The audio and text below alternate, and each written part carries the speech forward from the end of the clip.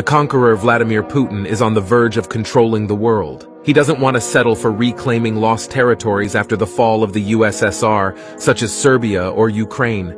He wants more. In fact, he is claiming a territory of 1.2 million square kilometers in the Arctic Circle, where 30% of the world's oil reserves are located.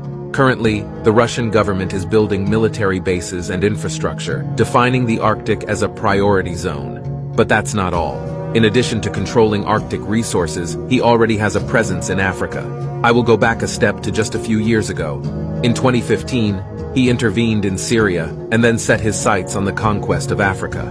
With the help of the Wagner mercenary group, Putin has managed to take control of a significant portion of the African continent by providing military aid to countries in conflict and subsequently establishing a foothold there. They offer weapons in exchange for access to mines and oil fields.